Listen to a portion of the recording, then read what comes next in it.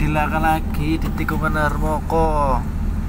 11 Januari 2021 barusan guys. Barusan terjadi mobil NPN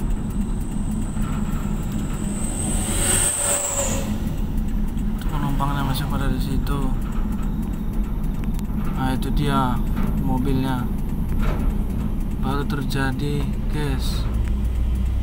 Itu dia para penumpangnya. Ayo 1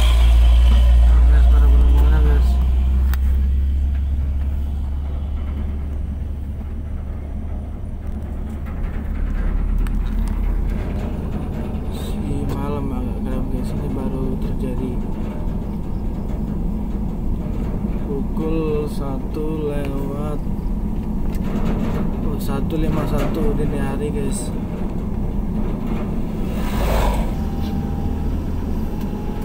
itu dia mobilnya guys.